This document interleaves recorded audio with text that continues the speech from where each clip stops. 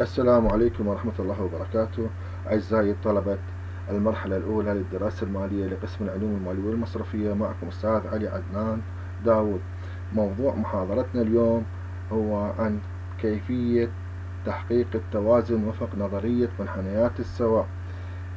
استكمالا للمحاضرة السابقة التي تناولنا فيها معنى منحنى السواء وعرفنا منحنى السواء بأنه يمثل رغبة المستهلك في الاستهلاك بين المجموعات المختلفة من السلعتين والتي تعطي المستهلك نفس المستوى الإشباع والمنفعة. أي أن التحرك على نفس منحنى السواء من نقطة إلى أخرى يعطي الإشباع نفسه وبالعكس كذلك أي لا يزيد من إشباعه أو منفعته ما زال على نفس منحنى السواء. كذلك تناولنا في المحاضرة السابقة خارطة سواء المستهلك والتي تبين منحنيات السواء أي تمثل ذوق أو تفضيل المستهلك حيث الانتقال بمنحنى السواء إلى منحنى أعلى يعطي إشباع أكبر أي كلما ابتعدنا عن نقطة الأصل زاد إشباع المستهلك. وهنا نأتي إلى تحديد وضع التوازن للمستهلك. كيف يتم تحديد وضع التوازن للمستهلك؟ طبعا يتم تحديد وضع التوازن باستخدام كل من خط الدخل أو خط الميزانية المستهلك وخريطة منحنيات السواء الخاصة بالمستهلك والتي تعبر عن أذواقه وتفضيلاته. ويمكن تحديد وضع التوازن المستهلك وتحديد الكميات التي يستهلكها من السلعتين ليكون في وضع توازن ويحصل على أكبر إشباع أو منفعة ممكن من توزيعه لدخله على تلك السلع. ونبين الآن معنى أو مفهوم خط السعر أو خط الميزانية. طبعا هو الخط الذي يربط بين يربط بين مجموعتين من السلع المختلفة. أي إذا أخذنا على سبيل المثال مجموعة من الغذاء ومجموعة من الملابس كما في الشكل البياني أدناه والجدول الموضح. نحن يفترض على سبيل المثال أن مستهلك يبلغ دخله الشهري ستة دنانير ينفق كامل دخله على شراء الملابس ويحصل على ستة وحدات من الملابس. بينما إذا أنفق كامل دخله على الغذاء يستطيع الحصول على أربع وحدات من الغذاء.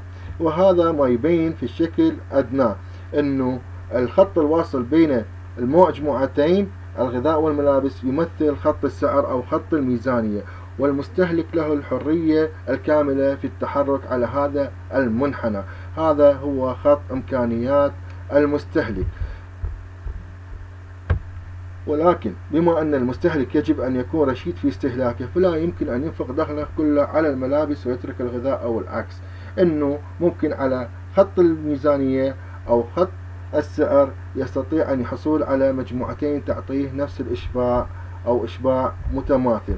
أما الحالات الأخرى اللي إذا نحب نبينها أن إذا تغير خط الميزانية أو خط السعر بافتراض زيادة دخل المستهلك فهذا يعني خروج خط الميزانية إلى الخارج أي ابتعاده عن نقطة الأصل وهذا يعطي إشباع أكبر للمستهلك كما في الرسم البياني.